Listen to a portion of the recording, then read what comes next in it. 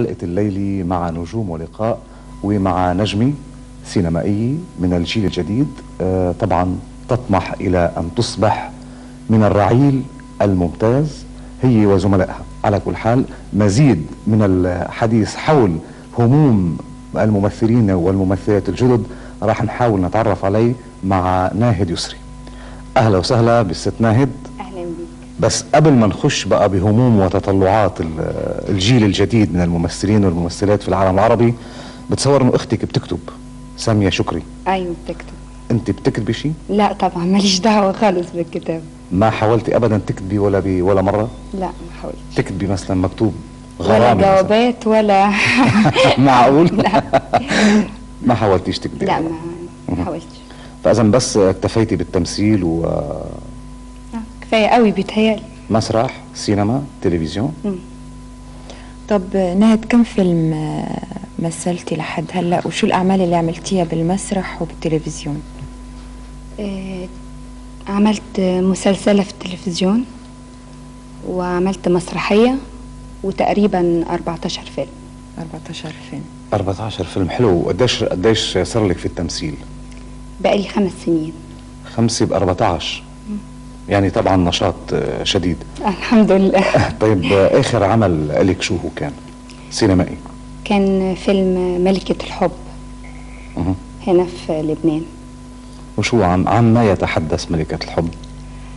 عن قارة الأطلنطيد اللي كتب عنها أنطونيو. و يعني هو فيلم استعراضي ترقصي فيه مثلا؟ لا ما برقص. هي فرقة بترقص. أنا ما برقص. أنت شو بتعملي بالفيلم بالضبط؟ أنا المفروض الملكة بتاعت الأطلنطيد ملكة الحب. ملكة الحب. بتصور الاسم غريب شوي اطلنطيد يعني آه، حوادثه بتدور الفيلم وين مثلا؟ بتدور هنا في لبنان كلها. لا تمثيل مثلتوه في لبنان. آه. بس حوادث القصة وين مفروض إنها تدور مثلا؟ في الأطلنطيد وين بتوقع جزيرة وهمية مثلا أو آه ما مملكة؟ هي لا هي بيقولوا إنها من يعني كتبوا عنها إنها القارة اللي مفقودة من عشرة آلاف سنة. أها. وأنتوا حاولتوا تكتشفوها؟ آه اكتشفناها فعلا. واكتشفتوها بالحب يعني مش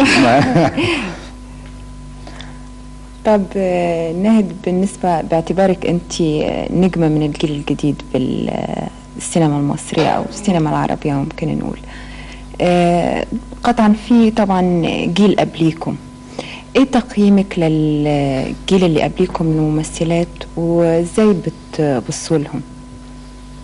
الحقيقة في كل جيل فيه الممثل الكويس والممثل ال اللي يعني اللي ما عندوش الموهبة اللي مش متكلم المتكلف أيوة مستوى. بس يعني عارفة الأصل اللي ما عندوش موهبة والمتكلف ح... ما بيستمرش كتير. آه طبعا. بس المفروض من اللي استمروا فترة طويلة.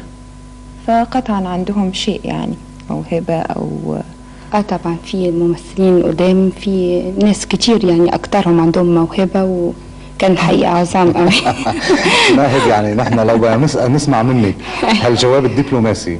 لا ما كنا سألناكي ما كنا سألناكي السؤال أصلا. لا مش ما؟ معقول. أصل أنا يعني مش فنانة لدرجة إني أقدر أحكم على ناس بقالها 20 سنة لا، أنا مش- بتمثل يعني. لا أنا مش عم نطلب آه، لا وأنا الفن عارفة نهد مش بالزمن. يعني ممكن واحدة تبقى سنة سنتين أو من أول بدايتها وتبقى موهوبة وفنانة. فممكن تحكم بصراحة على ال لا أنا بيتهيألي حقيقي الممثلين القدام آه، طبعا آه، يعني عندهم موهبه بت- أكتر من الجداد كمان. أكتر من آه الجداد؟ طبعا. ما نقدرش ننكر ده ليهم ابدا. تصريح خطير بقى إنه يعني أنت تتهمين الجيل الجديد من الفنانين والفنانات الممثلين والممثلات بأنه برغم تقدم التكنيك وبرغم تقدم العلم والعصر وإلى آخره عم يعطوا إنتاج أضعف من إنتاج ال- السابقين. آه أنا مش بحكم هو ده يعني مش حكمي ده حكم الجمهور طبعا إن الممثلين القدام عندهم موهبة أكتر من الجداد لأن السينما الجديدة ما فيهاش تمثيل زي الأول كلها إخراج ويعني بس حاجات برضه كلها. الممثل قطعا بيفضل له دور كبير ودور خلاق. بس يمكن مثلا ممكن نقول إن الجيل الجديد من ال- السينمائيين أو الفنانات بيعتمدوا على حاجات تانية غير الموهبة يعني مثلا بنشوف دلوقتي بأفلام آه، آه، كتير الأفلام الجديدة عارفة بتعتمد على الإغراء على ال- آه، تطلع ب- بمايوهات آه، يعني وقت ممكن يعني استعرض كمان. ما دي تقريبا بتبقى أفلام موضة يعني بتيجي وتروح حسب الموضة بتاعت يعني هو إيه. ده السبب برايك إنه اتجاه ال- السينما للنوع ده من الأفلام هو اللي ما خلاش في مواهب فعلا حقيقية زي طبعا. الأول لأن زمان كان القصص قوية قوي. كان ممكن الممثل يلعب دراما ويبين إيه قوته. دلوقتي بقى الأفلام أكتر استعراض للأزياء والحاجات المودرن والراس ما بقاش في وقت نمثل. يعني أنت- مواهب جغرافيه رشا ما هيك؟ مع انك انت أستاذ فلسفة بس مهتم بالجغرافيا قوي مش أنا بس ده اهتمام الكل يعني.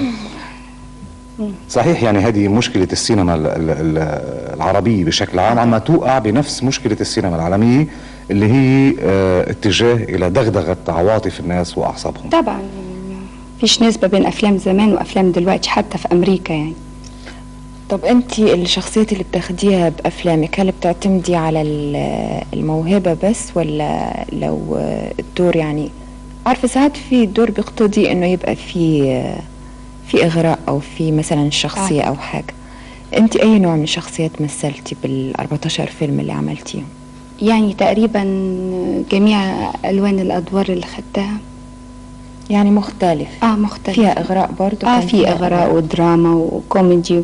لعبت تقريبا حاجات كتير. طب لو سألناكي مثلا آه، بصفتك مثلتي كل الأدوار إيه اللي الدور اللي فعلا بتحسي إنك آه، آه، بتأديه آه، وبتحبيه وانت بتعمليه؟ يعني أقرب من الأفلام اللي عملتها آه. يعني؟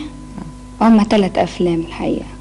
بعتز بيهم. فيلم الأضواء وفيلم آه، سيدة الأقمار السوداء ده وملكة الحب بتهيألي دورك كان فيه إغراء سيدة الأقمار آه كان في السوداء. إغراء. طيب آه، ناهد يعني بنتمنى لك مزيد من التقدم وبنتمنى آه، بقى مزيد من إيضاح النظرة بالنسبة للممثلين الجداد كمان. إنه هن أضعف من السابقين وهذا لأول مرة يمكن ممثل جديد. بيطرح الفكرة هذه. على كل حال شكرا لهاللقاء الحلو شو ممكن نقدم لك في نهايته؟ ما تطلبي مثل إغراء أنا لا أنا لا. آه، رأسة. رأس فولكلور آه. طيب يا ستي شكرا جزيلا وإن شاء الله يكون لبرنامج نجوم ولقاء لقاءات متعددة مع ناهد يسري.